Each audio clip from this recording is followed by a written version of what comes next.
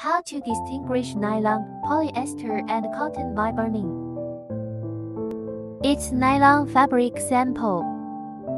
First, using tweezer to hold the sample at 45 angle and starting burning it. Then, observing smoke color, smell, residue form. It's white smoke. Now you can smell ammonia, like smell of hair burning. And there is light brown upper block. It's polyester fabric sample. First, using tweezer to hold the sample at 45 angle and starting burning it. Then, burning it. You can smell light fragrance. There is a lot of black thick smoke, and there is dark brown upper block.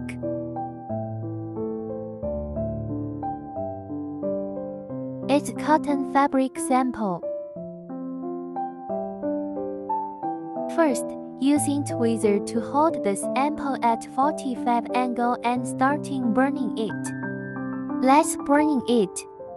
Then, observing smoke color, smell, residue form. It's white smoke. And it smells like burning of paper.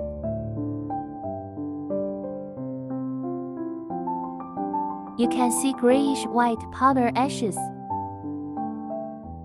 Let's review it.